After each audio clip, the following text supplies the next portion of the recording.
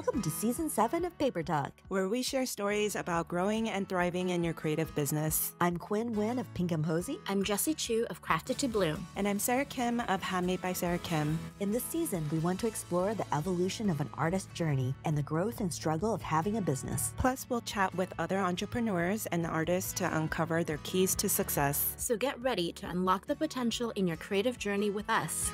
Hello, hello. Welcome back to another episode of Paper Talk. I'm changing things up this season. We're going to be doing this thing called Hot Seat.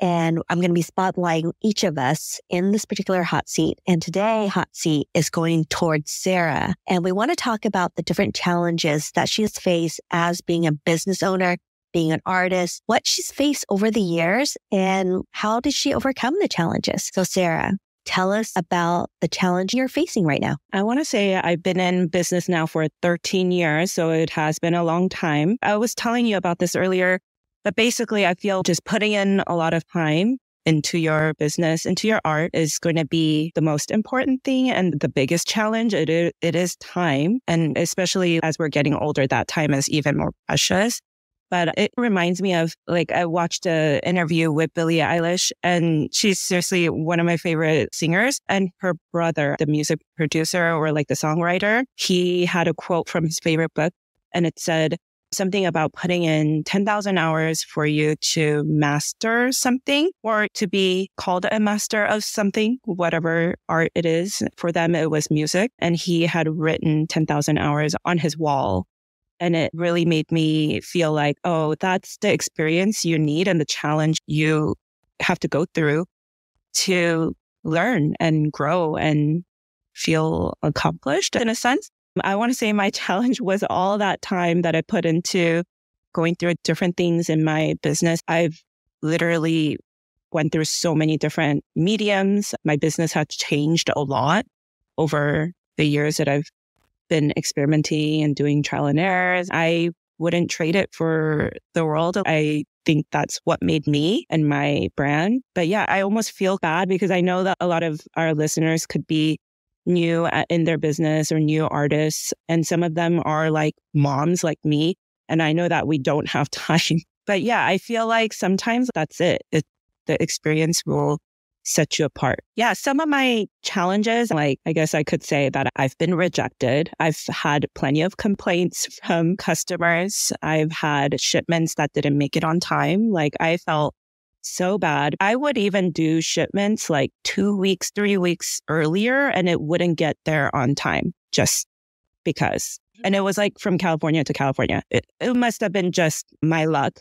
And yeah, all of that. And I'm like, sitting in my workspace crying. I'm like, oh no, I feel so bad because it was like their wedding date or something like that. So those are all just random challenges. I've had plenty of flowers, specifically to paper flowers. I've had plenty of flowers that just didn't make the cut. So much fun. I had so much fun doing that. Yeah. I wish I could get paid for doing all the trial and errors that didn't make the cut, but that's literally my fun time doing the research and making it and then seeing if it doesn't work, then it doesn't work. I got to try again. And actually, one of my recent flowers that I've done, it was the plumerias. I've done it like a handful of times and it just didn't make the cut because it's a plain flower. And it's not, personally, it's not my favorite flower. Although when I went to Hawaii, it was like beautiful because there, there's a lot more flowers on the tree than the ones in California. There's no real pattern. It is a pattern, but it's, it's not fluffy. It's not that colorful. Some might be colorful. You you understand, right? Am I the only one? Yes, yes, like, yeah. yeah. But I revisited it like recently because I knew I was going to go to Hawaii, and I was like, oh, I want to make a content out of it before I go because it's like such a uh, like a flower that I think of when I think of Hawaii. And I sat there for like hours trying to manipulate my paper and figure out how to get that that perfect look that plumerias kind of have. And even the color, it's not really it's not really watercolor. It's not really a paint where it has like it like distinct like line. Mm-hmm. So it it's really like a soft be, ombre. Yes, and hard to do, and to do so many of them because you can't just make yeah. one. Like the whole point of the plumerias is like a bundle. Part of my business is to also think about ways how I could let other people try making them themselves. It should be semi beginner friendly too. And so all the stuff that I was doing, I was like, but that's too much work. like, I'm never going to make more than one. Yeah, I tried it out with some crayons that I've got and I like blended it out and it actually worked. And the yellow was an easy color to blend out because it's not like a harsh like red or anything like that. So it looked gradient enough. And then I added like wire. You guys could check out my recent plumerias, but basically there was so much trial and error that went into that. And then all the hours from all the other things that I've made in the past. So yeah, I want to say my biggest thing is mm-hmm. putting time into it. And also balancing your family life because you have a child that you are, mm-hmm. he's almost a teenager now, right? Yeah. Crazy. Not yet. He looks like one. Yeah. He's so tall. He's so tall, but he's actually only seven. I know. Oh a lot of people, he's in the hundred, like 99 percentile. wow. That's amazing. He's so deceiving. He's like almost as tall as me. Yeah. Oh yeah. Work life balance is sometimes I'm like, as an artist, there is no such thing. But that's also something you have to learn and that's going to be a challenge and how to figure out yeah where your priorities go. Like sure. even as a business owner too i like knowing where my priorities need to go for my business. And one of the things in the past my priority was instagram.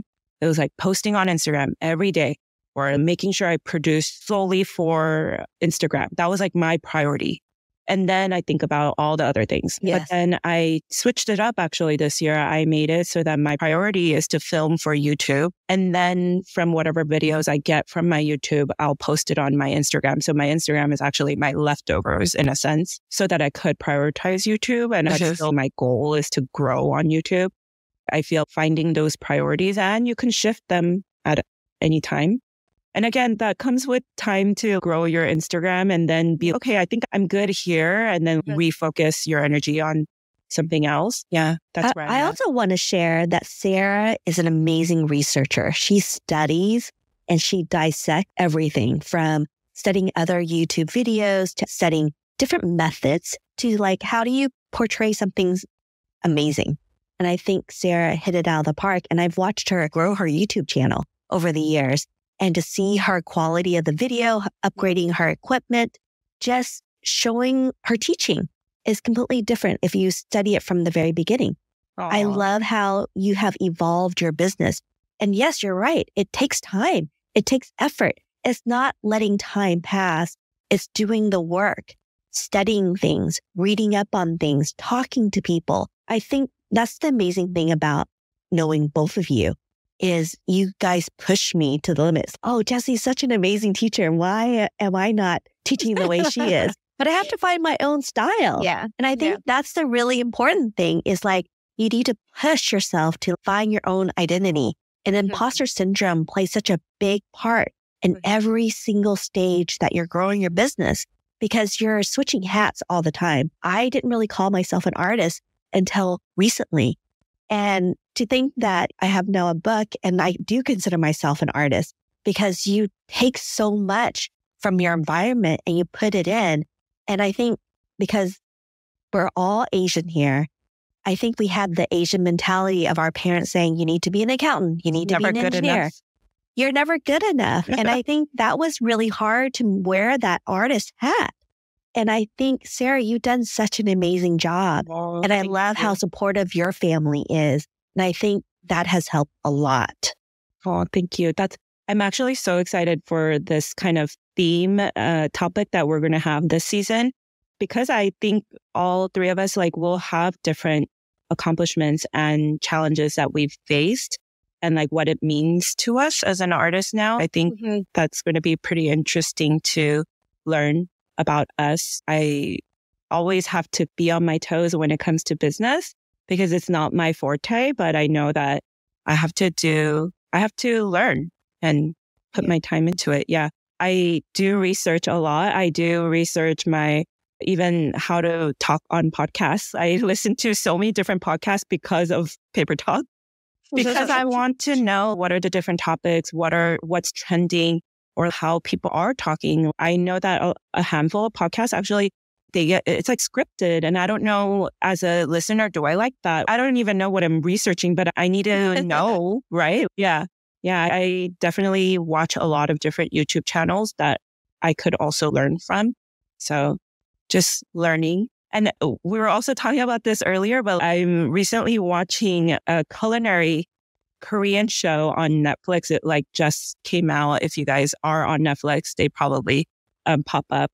But it's an interesting take on their cooking show because they have experienced chefs. The other team is also experienced, but they're just not as experienced as the other ones, like the renowned ones. Like they have Michelin star restaurants and uh, they've also won handful of different cooking competitions and things like that. So like I, and then uh, there's a little bit of a spoiler alert for you guys, but like a lot of the ones that are renowned, like they're almost unbeatable. And I think not that I'm saying I'm unbeatable, but like putting that time and experience and these people have been doing it like all their life and a lot of them are older as well. You can't beat it, even with the creativity that like the younger ones have or like the ones that do have still a lot of experience, but they're just not in that next tier of level of expertise and like mastering in their cooking. Even I was like, really? It's really that different? Yeah. But I think it is. And it reminded me of also like when I eat my like food from my mom or like from my aunt, like their food is delicious, even though they don't try. yes. they can kind of whip something up and that's experience. And mm-hmm. I do like to think actually my trial and error process after being in this for so long has shortened. It doesn't take me like weeks or anything. It's definitely like shorter, but I still have to learn. I still have to be a work in progress. Yeah. And I do still need to put my time into it, but it, I could tell that I made progress. Yeah. Well, that I, 10,000 hours is not all the same, right? yeah. Like yes. the first 10 hours is very different from your last 10,000 hours. Mm-hmm. It's, you have different experience. It's like experience on top of experience.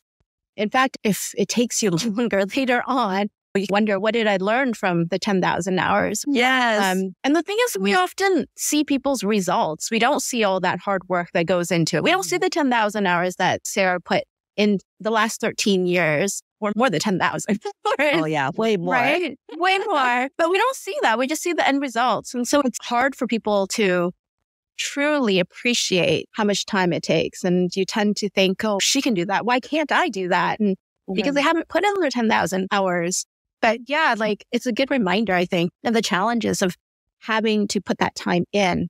That's the hard work and effort that I think is or puts or sets you apart from someone else who doesn't put those hours in.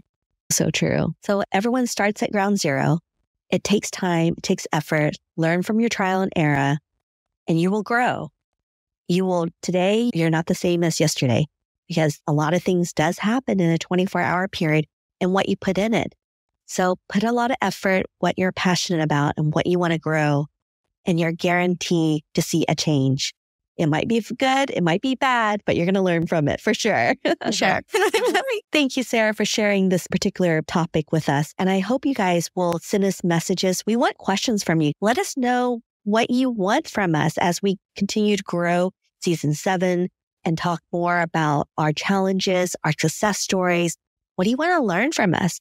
And I think you're going to be surprised at the, some of the stories that we're going to be sharing with you this season. And our next hot seat will be coming up in the next few episodes. So tune back. Now to my favorite part of our episode where we end the show with life hacks. I want to start off first because I'm super excited about this one. I love beauty products. I think that's super fun to always do and to change things up. But I was watching this particular TikTok video about my favorite beauty makeup artist. And she was saying, what's the difference between professional makeup artist versus a regular normal person? And she said, have two different foundation on you. So what you want to do is put a lighter, you want to keep in the same family shade as your skin tone, but one that matches your skin. You want it close to your center of your face from your cheek to your eye to your nose. And then on the perimeter of your face, you want to do one shade darker just around to give it more dimension. Then you take a brush and you blend everything out. And I tried it and it made such a big difference. I feel like I have a very round face and to be able to not make it so round. yes, exactly. Yes, more chiseled. And my other one is keep your face mask in the fridge. Keep it nice and cold because you want to put it onto your face when it's nice and cool and it'll help with any puffiness. And leave it on for at least a minimum of 20 up to an hour and or when the face mask dries out.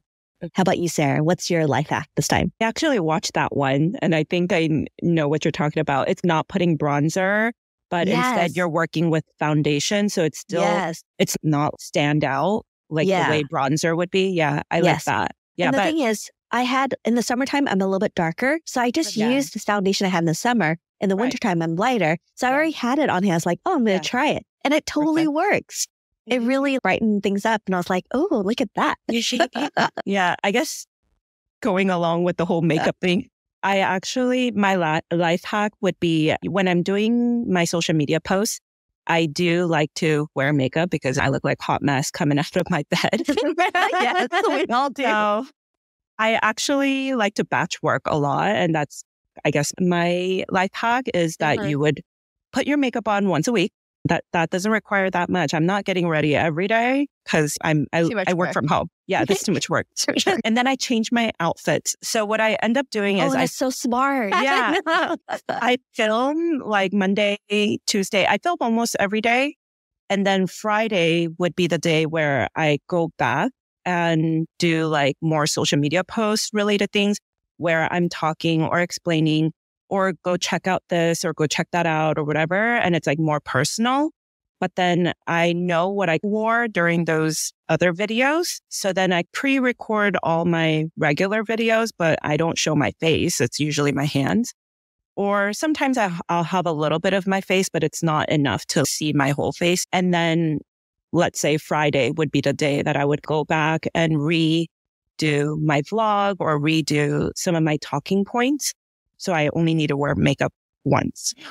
That's awesome. I know. So now you're going to judge me when I'm on my camera. You're like, you don't look like that right now. No, I don't look like that. Yeah. I love it. How about you, Jessie? What's Oh, your life gosh. hack? So when we did our road trip this summer to Cape Cod and Boston, it was about nine. Actually, in total, it was about 11 hours because we had to stop off and go to the restroom and eat. But keeping my kids busy was something I actually looked into ahead of time because I mm. was like, nine hours, like, what are they going to do? And it's during the day, right? So we left early. We left at six. So the kids were tired. So they did nap for a couple hours in between, but I got these these trays off of Amazon and they there's like a velcro strap that straps onto the child's waist. So they're on they're in the car seat and then you can also strap that that tray on around their their back and so it stays. Um, but the tray I got, I made sure to get one that had a little a bit of a lip closer to their Yeah. body because things roll, right? We've all tried doing stuff and it just rolls towards our belly. So I had a, I made sure to buy one with a lip. So they were able to construct their Lego set there. So I also got like a cheap, Oh. like $10 Lego set for them so that they could do it on the road. They use the tray also mm-hmm. to watch their iPads for an hour. I also had these games, like these like one person games, like mind games, like logic games that they could challenge themselves, but it's only for one person. And so they would play and then they would swap. And then their favorite though was a road trip card game. So essentially it's a bunch of cards where they have to look for certain things that are on the road or around. And there's two ways to play it. One, either you set the timer from now until we get to our destination and then you see which person gets the most cards or which person like Ashley was able to achieve all the cards. Or you could do set cards and then see how many of those cards they actually achieve.